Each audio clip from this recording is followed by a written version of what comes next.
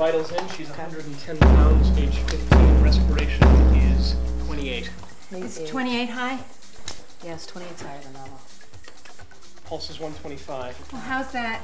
I mean, is 125 a good pulse or Mrs. what? Bates, we need to look at the entire situation before we can make a decision. Fred, anything else? How's her blood pressure? BP is 90 over 60. 90 over 60, okay. And her temperature? Temp is 38 Celsius. 38 Celsius, fine. Anything else? Yeah, not responding to sleep. Right, let's move on this real quick. I want a glucose reading with the finger stick, a complete blood count, and a Chem 7 panel. Glucose blood count the Chem 7. Got Oh, it. and Fred, can you check the blood gases as well? I'm gonna run down to the lab and see if I can't light a fire under these guys and get these done stat. And Fred, make sure she doesn't go into a coma.